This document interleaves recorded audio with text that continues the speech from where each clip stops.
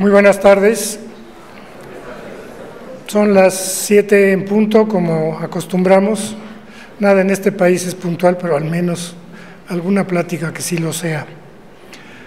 Antes de empezar con el personaje del día de hoy, quiero recordarles a todos ustedes que estas sesiones y otras del Colegio Nacional se transmiten por Internet. Entonces, por favor, les agradeceríamos mucho que lo hagan saber de, la, de sus amigos, de sus familiares que puedan estar interesados, porque esto es algo relativamente reciente y hay poca gente que sabe que esto pasa directamente por Internet. Y hablando de Internet, con permiso de ustedes, les mando un saludo a mis nietos, Andrés y Santiago, si es que me están viendo en Internet. Estamos haciendo prueba, a ver si de veras se ve bien. Saludos.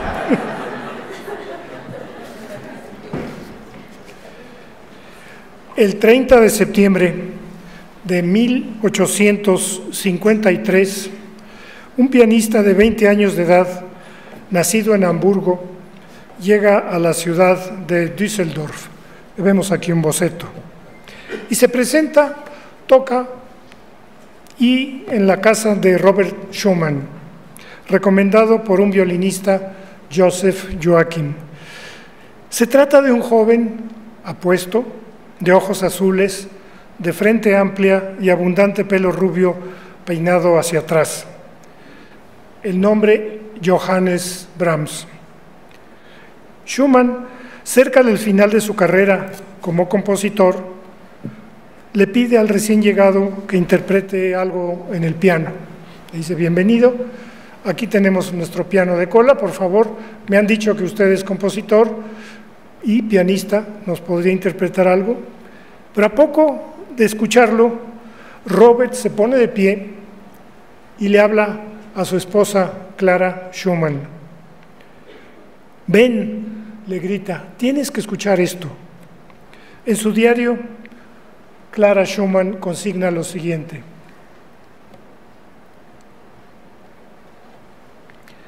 Nos ha llegado un maravilloso fenómeno en la persona del compositor Brahms de Hamburgo. Es realmente emocionante cuando se le ve tocar el piano, su rostro joven, interesante, transfigurado por su música, supera con bellas manos las mayores dificultades con gran facilidad. Y por encima de todo, qué extraordinarias composiciones. Uno pensaría que el Señor lo trajo al mundo en estado de perfección. Esto es un momento en la historia de la música clásica excepcional. No creo, no, dentro de lo poco que yo sé, nunca ha habido una reunión de tres genios como lo fueron Schumann, Brahms y Clara. Clara, ya lo vimos al, hablar de, de Schumann, era también una pianista absolutamente excepcional, era tal vez no la mejor pianista, sino el mejor pianista, contados hombres y mujeres que había en su época, y además era una gran compositora. De hecho, se me ocurrió una idea este, preparando esta plática, que espero que estén de acuerdo.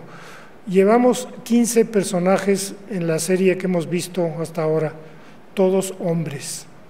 Clara merece el año que entra tener una sesión dedicada solo para ella. Creo que están de acuerdo conmigo.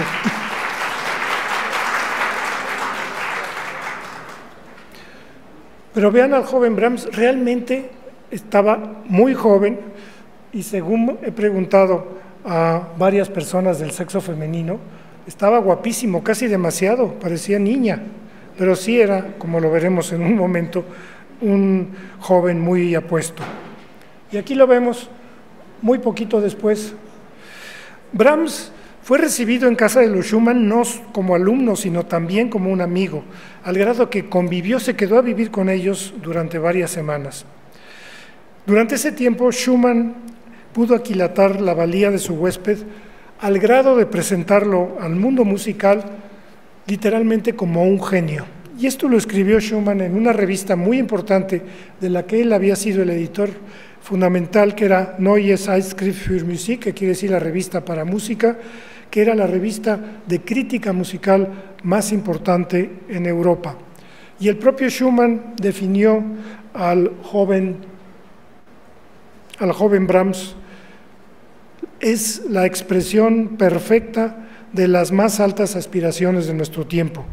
Y además no solamente lo recomendó y no solamente lo hizo famoso a los 20 años, sino que logró que la casa editora de música más conocida de Alemania, Breitkopf y Hertel, publicara lo que ya tenía escrito el joven Brahms. Schumann lanzó así la carrera de Brahms, hasta entonces desconocido como compositor, y este, nuestro amigo, el jovencito de pelo rubio y de ojo azul, le dijo, le escribió a Schumann, la notoriedad pública que usted me ha otorgado ha levantado en forma tan extraordinaria las expectativas del público que no tengo idea cómo puedo responder a ellas. Sobre todo, seré extremadamente cuidadoso en lo que decida publicar. Y esto fue Brahms toda su vida. Brahms, como pocos grandes compositores de música, fue cuidadoso de lo que publicaba. Por ejemplo, su primera sinfonía, de la que hablaremos en un momento, tardó entre 12 a 14 años en escribir esta sinfonía. Al poco tiempo de iniciarse la relación de Brahms con los Schumann, imagínense qué triste, se hacen amigos, comparten todo, la pasión por la música, comparten la pasión por la composición musical, pero Robert Schumann, como vimos aquellos de ustedes que me hayan acompañado en esa sesión, pronto empieza a manifestar trastornos mentales severos que lo llevaron en febrero de 1854, unos meses a poco después de que había llegado Brahms, a intentar suicidarse en febrero en las aguas heladas del Rin y por decisión propia a recluirse en un sanatorio psiquiátrico, el sanatorio de Endenich, donde murió dos años y medio más tarde en condiciones terribles. Brahms estuvo al lado de Clara durante esos tiempos difíciles. Y aquí vemos a Brahms y vemos a Clara ofreciéndole apoyo, compañía y afecto, tanto afecto que poco a poco se fue transformando en una intensa, intensísima relación amorosa del joven de 21 años, como lo vemos ahí, absolutamente enamorado de la famosa concertista de 14 eh, años mayor que él, madre de seis hijos y embarazada de un séptimo hijo. O sea, cuando llegaron ya estaba embarazada cuando su marido, Schumann, es ingresado en el hospital psiquiátrico, eh, Clara estaba embarazada y para que se convenzan de que había tenido muchos niños, primero aquí vamos a ver a, Clara, realmente era muy, además de ser un genio, un, un, genio para la interpretación musical y una muy buena compositora, creo que estarán de acuerdo conmigo que era una mujer bella. Y aquí está la prueba de que sí había tenido muchos niños y esos son todos sus hijos. La que está en medio no es mamá, es una, es una de la hija y todavía faltan dos. Entonces fueron eh, eh, un total de ocho. De acuerdo a uno de sus biógrafos, para Brahms, el joven inexperto, tímido y más bien torpe, Clara era la esencia misma de una mujer inusualmente dotada, cultivada, atractiva y como tal ella se volvió objeto de todas sus fantasías románticas. Así como vimos hace 15 días que Berlioz hizo la Sinfonía Fantástica basado en el enamoramiento, en el enamoramiento de una irlandesa que interpretaba Shakespeare, pues aquí vemos otro enamoramiento desde muy pronto de Brahms, un amor tendría sus más y sus menos, pero que duró hasta la muerte de los dos.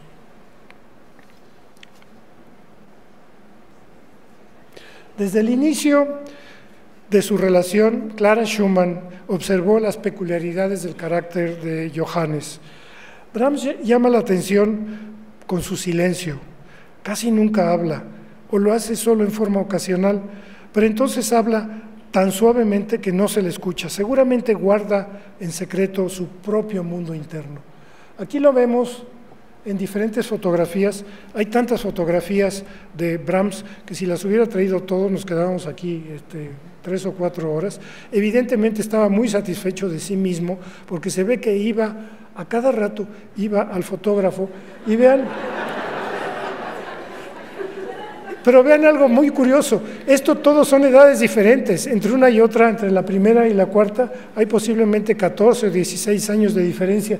Vean cómo el peinado es diferente, más o menos es lo mismo, más o menos la calva es la misma, pero lo increíble es que la corbata sigue siendo siempre la misma y yo creo que también el saco. Entonces, o nunca se cambió o es que en la casa del fotógrafo dejaba colgado su corbata y dejaba, porque siempre sale igual, y como veremos más adelante en su segunda fase, cuando cambió de look, pues también seguía siendo muy afecto a los retratos y seguía usando siempre la misma ropa, pero bueno. Clara no volvió a ver a su marido en todo el tiempo que pasó internado en la clínica psiquiátrica. Poco antes de fallecer su marido por inanición, se suicidó dejando de comer porque no aguantaba las condiciones del hospital psiquiátrico y murió en total abandono físico y completo deterioro mental. La historia más triste que pueda uno imaginar de un genio tan grande como Schumann. Clara y Brahms fueron a verlo el día anterior a que muriera. Clara no lo había vuelto a ver en dos años y medio, pero lo mantenía. Clara tenía una actividad enorme como concertista, tenía que mantener a todos esos niños, tenía que comprar los pañales, tenía que mantener la ayuda de quien le hacía la comida, quien le hacía, etcétera, etcétera. Y para ello, ella es la que ganaba el dinero en la casa y además tenía que mantener a su marido en el hospital porque no era un hospital eh, público, era un hospital privado.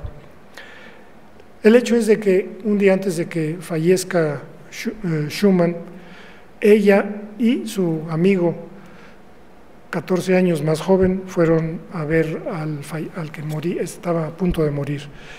Y Johannes Brahms escribió, nunca volveré a tener una experiencia tan conmovedora como esa reunión de Clara y Robert.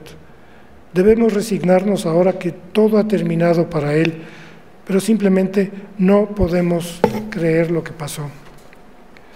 A la muerte de Robert Schumann, la relación continuó hasta la muerte de Clara, sin llegar nunca a materializarse en la unión formal. Hay muchos chismes de pasillo, así como en, imagínense Lola de la música, en donde dice que habían tenido relaciones. Por supuesto, eso no nos interesa, pero lo más probable de los biógrafos serios es que nunca tuvieron relaciones. En parte, tal vez por el carácter inestable, egoísta e individualista de Brahms, al grado que la propia Clara comentó a los años de haberse conocido, mi interés en su, es, en su destino y su trabajo será siempre el mismo, pero mi confianza en él se ha ido. Aquí lo vemos ya bastante mayor, sigue, sigue usando la misma corbata y sigue usando el mismo saco y bueno, sigue teniendo su predilección por los retratos. ¿Cómo surgió, cómo surgió un genio de 20 años que tenía no solamente la capacidad de tocar fantásticamente bien el piano, sino que ya tenía una producción pianística importante? La familia de Brahms provenía del norte de Alemania, en particular de la Baja Sajonia. El abuelo, Johann, todos son Johann, ganaba la vida como responsable de un albergue y el hijo, o sea, el papá de nuestro compositor, que se llamaba Johann Jacob, fue el primero en mostrar interés por la música al aprender a tocar con talento la flauta, instrumentos de cuerda y el corno. Se repita lo que hemos visto en muchísimos casos, excepto en el caso de Berlioz, todos los demás compositores han tenido un padre o una familia o un ambiente familiar de música. Él también, Brahms, el padre de Brahms, era músico. Más tarde el padre se trasladó a Hamburgo, que vemos aquí, y se concentró en la interpretación del contrabajo, con lo que se ganaba la vida tocando en los muelles de la ciudad y en un salón de fiestas. Aquí nos imaginamos que estos eran los muelles, imagínense Hamburgo, que todavía es una ciudad pues conocida sobre todo las partes de los muelles por, por la parte roja, imagínense lo que sería en aquel entonces. En 1830 se casó nuestro, el padre de Brahms con Johanna Enrica Christian Nissen, un poco mayor que él, 17 años más grande que el padre. No muy bella, un poco coja, pero de gran sensibilidad para la poesía y por la naturaleza. La pareja tuvo tres hijos. Aquí viene el padre, el padre pues era, yo creo que apuesto, también la, la buena cara la sacó del padre. Y ahora vamos a ver la pareja, no se asusten. Aquí está el padre y ahí está la mamá. Es el único retrato que yo pude conseguir de la madre, pero la madre fue absolutamente indispensable para Brahms, fue una madre comprensiva, fue una madre buena, fue una madre afectuosa. El padre no lo fue, el padre fue duro, a pesar de que se daba cuenta que Brahms era un gran, tenía una gran cualidad como le interesaba como intérprete de piano, para usarlo, como veremos dentro de un momento, pero no era una buena persona. En algún momento le dijo a Brahms, o le dijo a, a varios amigos que estaban en presencia de Brahms, este nunca va a hacer nada en la vida. Pues no, le falló y le falló con mucho. Es, aquí vemos a la hermana Elise, la hermana de Brahms. Algo tenía raro, tal vez tenía algún problema mental y además padecía constantemente de dolores muy intensos de cabeza. Entonces, básicamente la familia se dedicó a cuidarla y el otro fue Fritz y este pues fue un bueno para nada, no, no causó problemas, pero tampoco pasó a la historia como su hermano. Johannes nació el 7 de mayo de 1833 en esta casa. El segundo piso a la derecha es donde vivían la familia. Pronto se cambió a otra calle, se cambiaron de esta casa a la calle Ulrichstrasse, conocida por la abundante presencia de señoras galantes, borrachos y escenas violentas, un ambiente evidentemente poco propicio, por decirlo discretamente, para el desarrollo de una familia. El padre Johann Jacob estimuló el interés del pequeño Johannes por la música, no para desarrollar su talento como compositor, sino con la idea de que llegara a convertirse en un intérprete profesional y que se ganara la vida tocando en una orquesta sinfónica o en una orquesta cualquiera. El pequeño mostraba interés especial por el piano y le dijo, papá, yo no quiero tocar el contrabajo, papá, pues no llegaba al contrabajo, estaba muy chico. Y le decía, papá, yo lo que quiero es el piano. Y en eso actuó bien el padre, le consiguió clases particulares con un buen pianista que era Otto Kossel, un intérprete conocido del piano. Pero también, aparte de que tocaba mucho el piano, el pequeño Brahms también jugaba y lo que más llamaba la atención, además de que tocaba bien el piano, es que jugaba con muchísima imaginación con sus soldaditos de plomo. Avanzó Brahms en sus conocimientos lo suficiente para dar un concierto a los 10 años interpretando al piano música de cámara de Beethoven y Mozart. Su buen desempeño lo llevó a recibir una oferta, tentadora pero peligrosa. Y le dijeron al padre, ¿por qué no nos llevamos al niño, usted y yo, y nos vamos a viajar a Estados Unidos, a los circos, para que toque ahí el piano? El profesor Cosel, el profesor de piano, no solo convenció a los padres de lo absurdo de la propuesta, dicen, si quieren acabar con el futuro de este niño, llévenlo como niño de circo o enano de circo, pero este niño tiene talento y logró no solamente que no se fueran a Estados Unidos, sino que tomara clases con el más famoso maestro y compositor que había en Hamburgo en aquella época, que lo vemos aquí. Bueno, ahí tenemos más Hamburgo, y es este buen señor, Edward Marksen, quien al aquilatar las posibilidades de desarrollo de su discípulo pequeño, le permitió no solamente continuar aprendiendo piano, sino también composición musical. Entonces fue muy importante para Brahms que una gente reconocida como compositor le dijera, oye pequeño, sirves para tocar el piano, pero también creo que tienes madera de compositor. Al completar los 14 años de su educación elemental, Johann Jacob, el papá, decidió que su hijo contribuyera a la economía familiar tocando el piano en restaurantes y bares de mala muerte de los muelles de Hamburgo. ¿Qué tan malo fue el ambiente en esos sitios? Ha sido objeto de controversia de los biógrafos. Para algunos, el delicado y bello adolescente pudo haber sido, haber recibido tratos inconvenientes, por decirlo de alguna forma, de las señoras locales y tal vez, ¿por qué no?, de marineros borrachos. En todo caso, alguien que lo conoció dijo, Brahms, de joven, de adolescente, vio cosas y recibió impresiones que extendieron una sombra obscura sobre su alma. En todo caso, el joven Johannes sufrió físicamente las largas noches de desvelo, la falta de sueño, la atmósfera saturada de humo de los bares. Bajo de estatura, con voz aguda, el adolescente Brahms tenía aspecto anémico. Su constitución era frágil y con frecuencia sufría intensos dolores de cabeza. Pero sin embargo, ya mayor y famoso, dijo, estoy convencido que ese ambiente me hizo bien y, me fui, y fue esencial para mi desarrollo. Brahms disfrutó siempre del cariño y comprensión de su madre. Su padre, en cambio, como lo dije, fue autoritario y deseó que su hijo saliera pronto de la casa para no tener que sostenerlo, lo cual a Brahms lo ofendió profundamente que su padre le dijera, pues apúrate hijito y a ver cuándo dejas de estar en casa porque lo único que produces aquí son gastos. Vamos a ver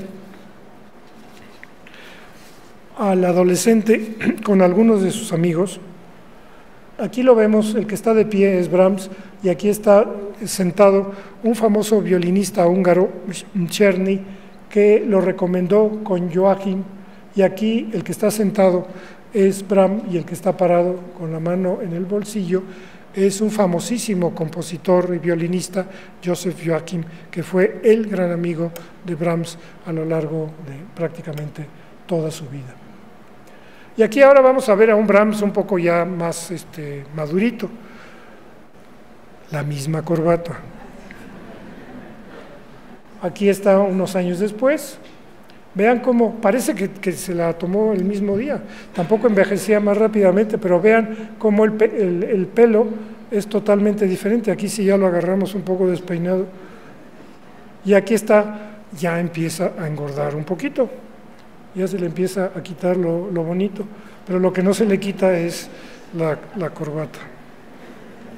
Los biógrafos coinciden en que la difícil niñez de Brahms contribuyó a desarrollar en él, su carácter desconfiado, suspicaz y reservado. En su música, él no daba nunca lugar a la inspiración espontánea y rechazaba lo trivial. Más que manifestaciones de misantropía, su obra siempre madura revelaba un alto sentido de autocrítica ante la preocupación de ser original en sus composiciones que le obligaron a destruir, según algunos biógrafos, el 80% de las cosas que él escribió las tiró a la basura o las quemó. A los 36 años produce su primera gran obra orquestal, el primer concierto para piano, difícil para los intérpretes y en, ese entonces también para el público. A los 34 años, ya más madurito, produce la primera sinfonía y el más famoso director de orquesta, este, está un poco chistoso, ¿verdad? Parece como un cantinflas, pero era el, más famoso director de orquesta de entonces y fue el director nada menos que el director de orquesta de Wagner, que se llamaba Hans von Bülow. Y este gran director de orquesta dijo, la primera sinfonía de Brahms corresponde a la décima, diciendo que Beethoven había hecho nueve sinfonías y que la primera sinfonía de, Brahms, eh, de Brahms era tan buena que es como si hubiera sido la décima de Beethoven. Brahms fue consciente de la enorme responsabilidad de escribir justo después de que Beethoven había muerto. No quería imitarlo y quería ser original, quería ser diferente. Y dijo en alguna ocasión Brahms, nunca podré componer una sinfonía. No tienen idea cómo se siente cuando escuchas constantemente un gigante acechándote tras de ti.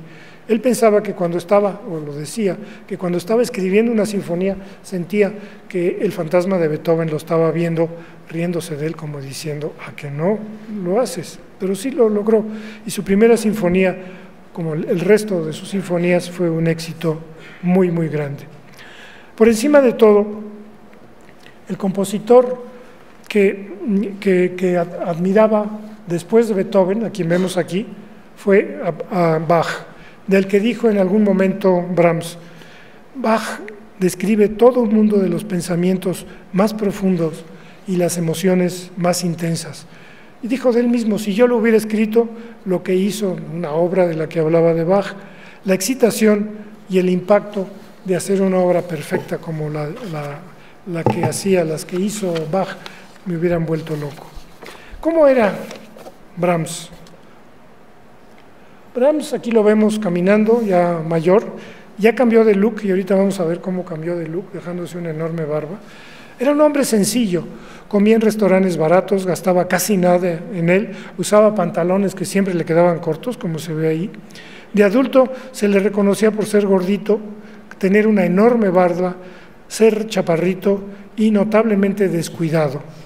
Se decía que parecía Beethoven en la estatura, los dos eran chaparros, en la forma de caminar, caminaban igual, Beethoven también caminaba así, inclinado hacia adelante con las manos hacia atrás, eh, con los brazos cruzados en la espalda, los dos eran malhumorados, los dos se quedaron solteros. Y algo muy importante, los dos fueron genios. La personalidad de Brahms fue descrita por sus contemporáneos como intolerante, duro, sensible, cínico y malhumorado.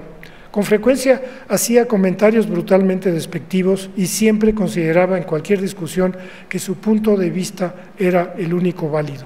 Y vean lo que dijo alguna vez Brahms, esto es buenísimo. En una ocasión al salir de una reunión les dijo, muchas gracias por la invitación. Si hay alguien que está aquí presente en esta reunión al que no haya ofendido, le pido disculpas. Sin embargo, algo tendría, parece que era, en el caparazón era muy duro, pero por dentro era una buena persona y pudo conservar amistades tan profundas a lo largo de prácticamente toda su vida, como la relación con Clara Schumann y la relación con el violinista Joachim, Joseph Joachim.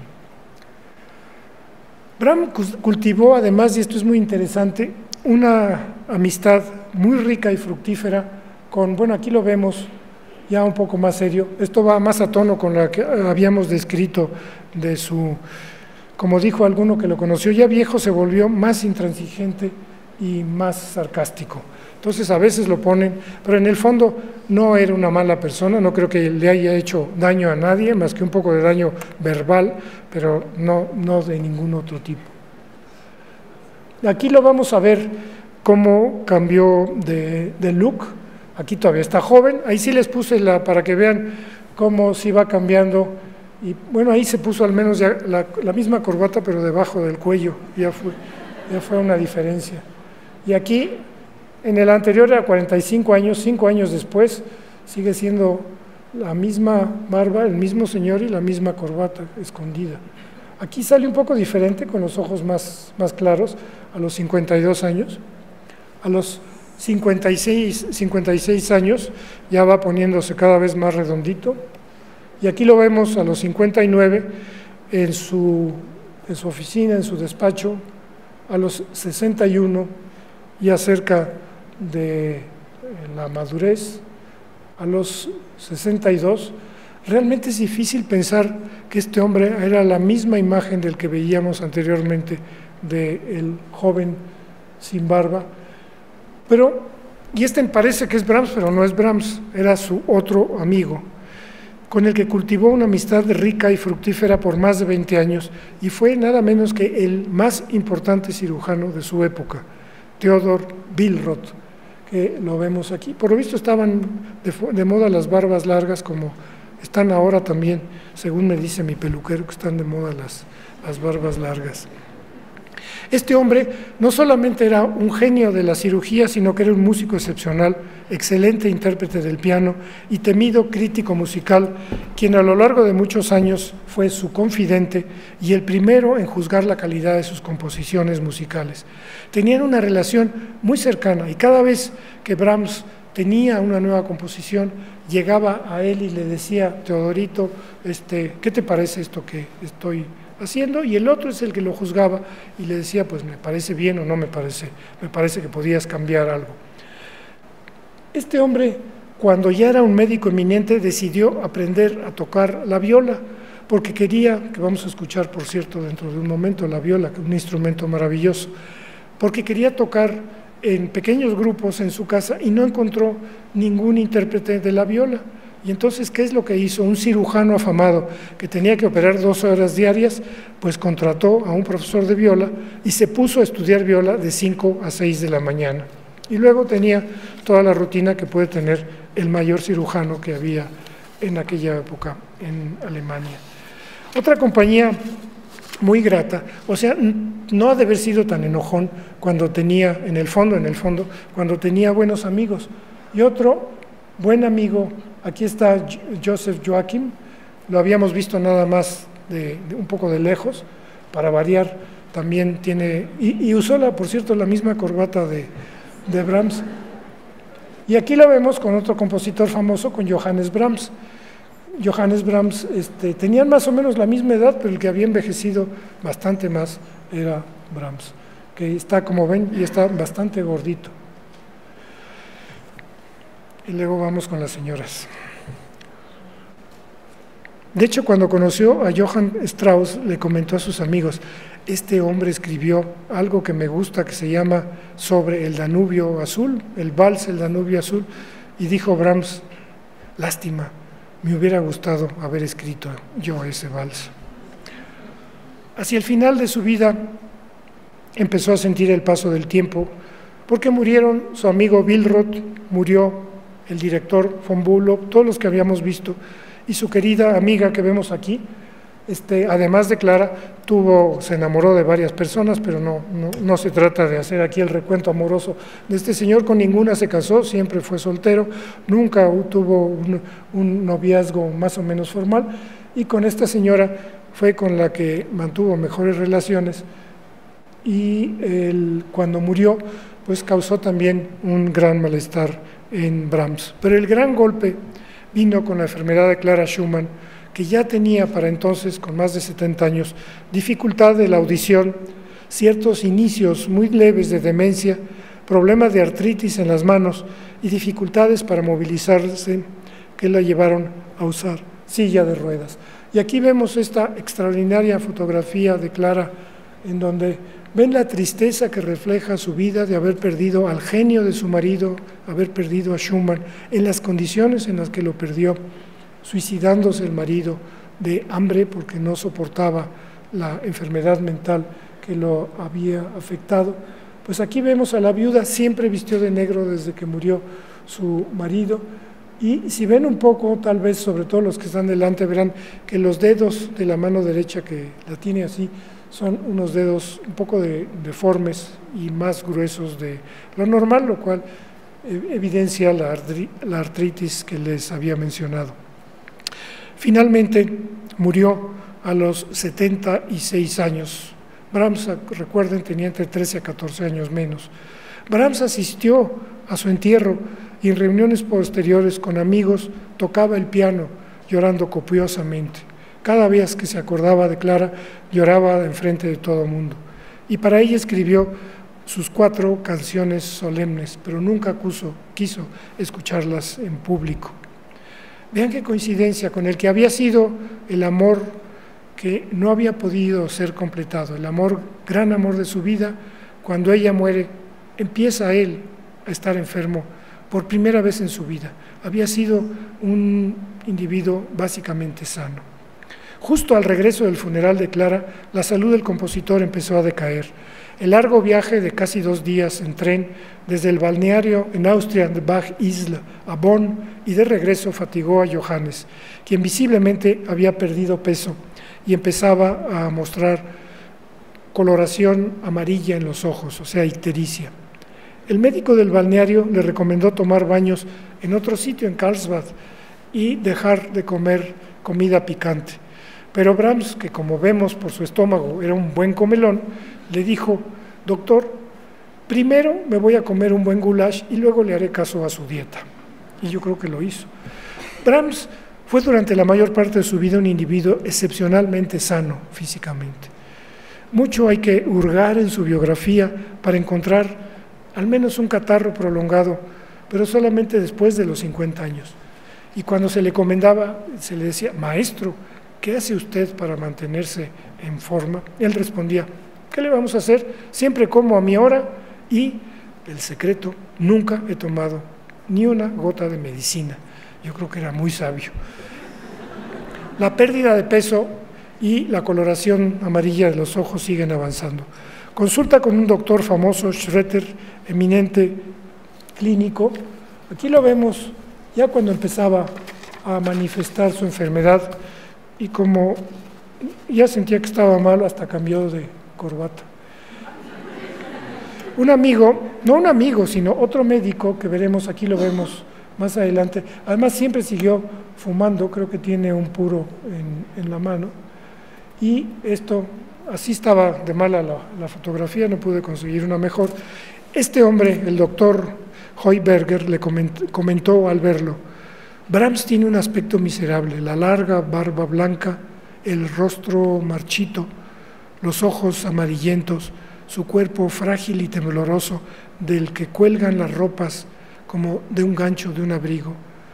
Es una visión lamentable. Brahms niega su deterioro. Era muy empecinado y dijo, yo no estoy enfermo, duermo como perro y mi apetito como siempre es feroz. Y es cierto, no tenía sentido el que estuviera volviéndose histérico, que tuviera un problema de hígado y que siguiera teniendo apetito. Entonces lo que hizo, le hice caso al doctor y se fue a tomar un baño, los, los baños a Carlsbad. Pero ahí los médicos observan que el hígado empieza a crecer y suponen que algo obstruye los conductos biliares, por lo que eso explica el que esté amarillento. Pero pronto le aparece otro síntoma, empieza a darle comezón muy intensa y dice, estoy tan sano como se puede estar, solo estoy un poco amarillo y me pica un poco la piel, pero eso no me preocupa. Mientras tanto, su ama de casa, que lo quería mucho, toma sus ropas y para que no se da cuenta, no se dé cuenta que está perdiendo peso, le rebaja un poquito, le recorta un poquito la ropa y cuando se la pone otra vez Brahms dicen, ya ven, como no he perdido peso, me queda bien. Pues sí, ya le había quitado dos centímetros de cintura. En marzo de 1897 se interpreta en Viena su cuarta sinfonía, él está ya muy enfermo.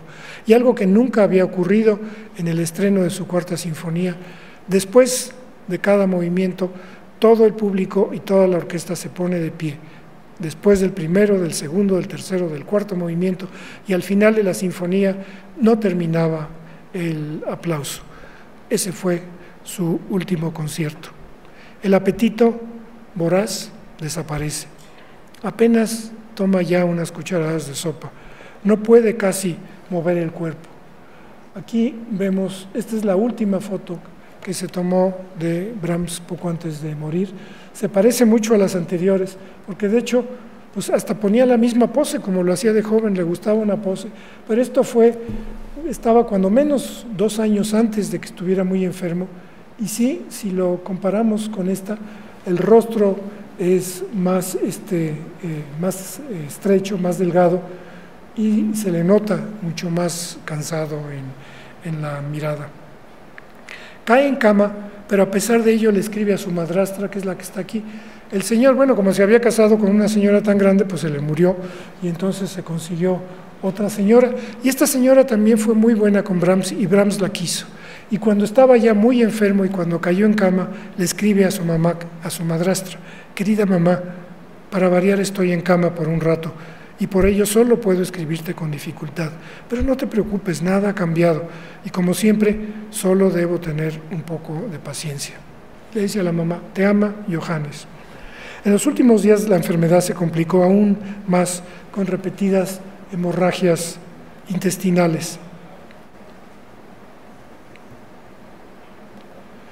Su médico, Robert Breuer, cuidó de él la última noche y recordó, alrededor de las cuatro de la mañana le pregunté si tenía sed y me indicó que sí, por lo que le sirvió una copa de vino del Rin. Se sentó en la cama con trabajo, tomó la copa con las dos manos y bebió todo el contenido con dos largos tragos. Entonces, ah, con un intenso suspiro dijo, ay, estuvo delicioso. Esas fueron sus últimas palabras. Tenía 63 años.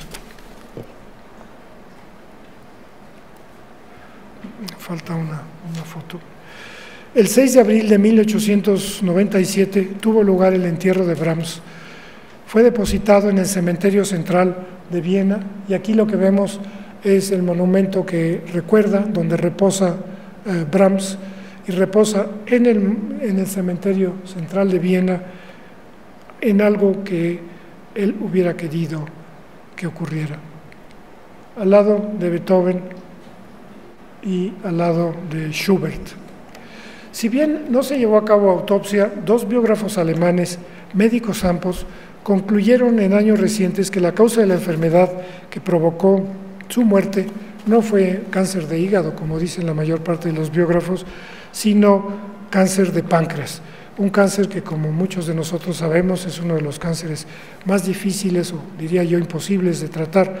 Aun cuando hubiera vivido en esta época, poco se hubiera hecho fuera de prolongarle unos meses tal vez la vida al gran Brahms. El gran solitario, como se llamaba a sí mismo, era en realidad un hombre modesto y bien intencionado, cualidades que escondía tras un exterior rudo y brusco. Pero para los conocedores de la música, esta música extraordinaria, la música de Brahms, debe ser escuchada no solo con nuestros oídos, sino también y nos dicen los expertos, sobre todo debe ser escuchada con nuestro corazón.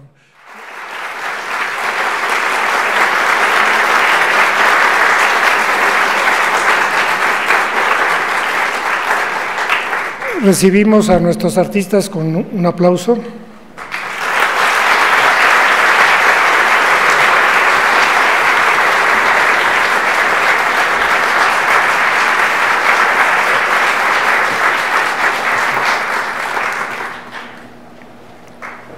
¿Pueden dar imagen en la computadora, por favor? Les voy a proyectar las palabras que nos va a interpretar la maestra. ¿O primero va a ser la sonata? La sonata primero. Ah, es que lo tenía al revés. Entonces, los adelante, maestro, los escuchamos y después pasamos a las canciones.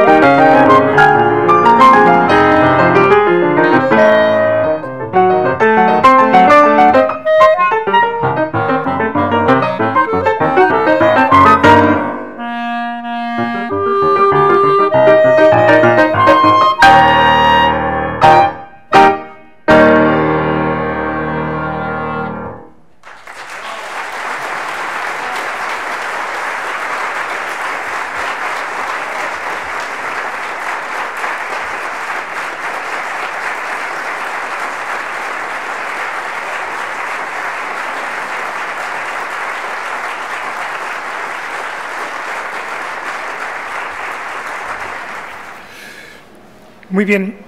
Yo quería comentar brevísimamente la predilección por el clarinete de Brahms. Brahms, a diferencia de muchos de los compositores de los que hemos hablado, no murió, no dejó de componer por haber fallecido, por tener una enfermedad grave, como ocurrió con Mozart, con Beethoven, con Haydn, con Schubert, con tantos otros. Brahms, llegada a los 60 años, pensó que ya había hecho lo que quería decirle al mundo, pero un buen día, cuando ya había dicho que no iba a escribir nada, escuchó a un clarinetista y dijo, ah, todavía no termino, y escribió algunas obras como las que tuvimos la fortuna enorme de escuchar hace un momento. Pero ahora les pido que recibamos a nuestros artistas que nos van a interpretar dos canciones de Brahms. Verónica, bienvenida.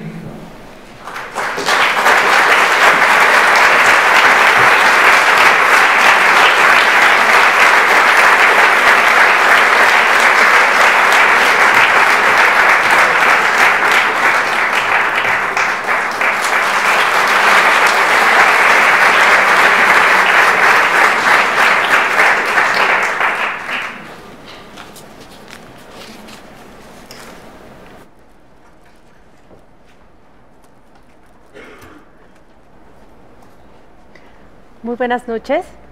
Eh, esta noche hemos eh, preparado dos canciones de, Brahms, el Opus 91, y bueno, eh, contamos con la traducción de las mismas, por lo cual no, bueno, no les diré todo el texto, sino simplemente un, pequeño esbozo. La primera nos habla de la calma de los bosques y de los pajaritos y hace un contraste ¿no? contra lo tormentoso de sus anhelos y les pregunta a, sus sueños y a sus anhelos en qué momento van a descansar. Este es un, poema de Friedrich Rückert. Y en la segunda canción es una hermosísima canción de cuna con un, basada en un poema de Lope de Vega y en la cual eh, dice a, las palmas y al viento que por favor eh, que guarden silencio, que bajen su volumen porque mi niño está durmiendo. Ese niño es el, niño, el niño divino que dice que, está cansado porque vino a cargar con las penas de esta tierra. Ah, una cosa, perdón, en los programas me parece que hay un, detallito en el crédito. Eh, en la viola nos este, tenemos el gusto de tener al maestro Mauricio Chabot. Y bueno, en el piano es correcto, el maestro Sergio Vázquez.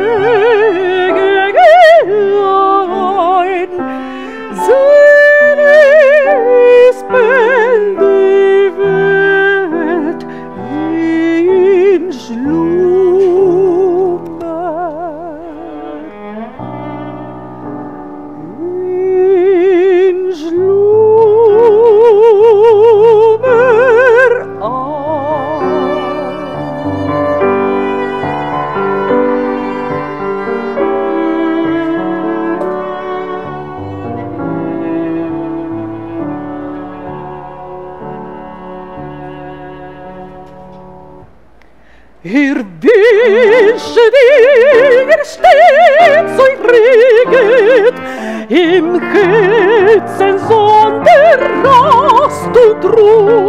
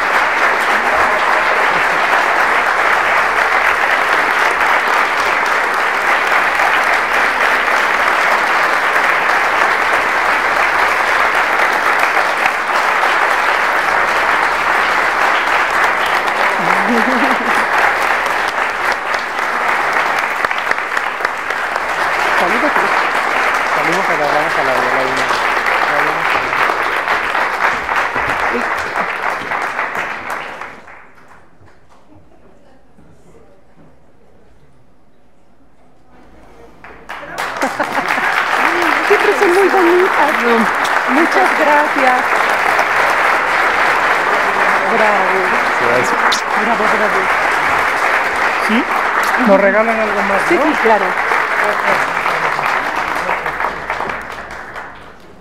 ¿Algo más?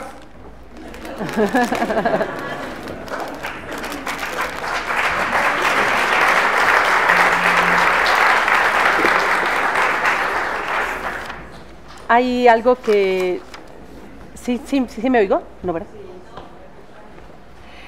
Eh, hay algo que a mí siempre me ha parecido mágico y es cuando una, una melodía que, que todos conocemos de forma cotidiana, de pronto la encuentra uno en un concierto, en un disco, es como, como encontrarse con que la música de concierto también forma parte de nuestro día a día. Es, para mí es como, como, como así como una lucecita de pronto cuando me ha ocurrido, entonces no la voy a presentar porque todos la conocen.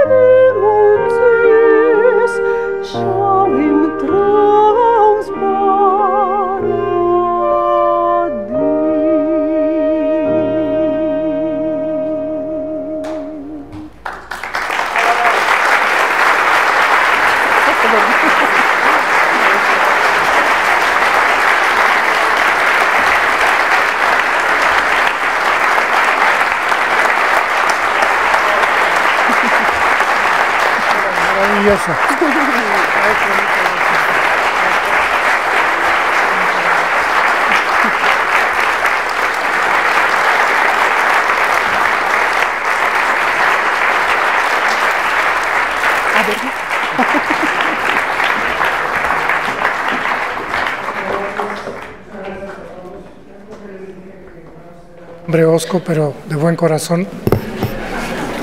Con esto terminamos el ciclo de este año de músicos y compositores. Tenemos más para el año próximo, ya les haremos saber cuándo hay maravillosos compositores que tenemos que revisar, Puccini, Mahler, Shostakovich, en fin. Y por supuesto, si están ustedes de acuerdo, ustedes ya dieron el veredicto, también una mujer, Clara Schumann. Muchas gracias a todos ustedes por su asistencia.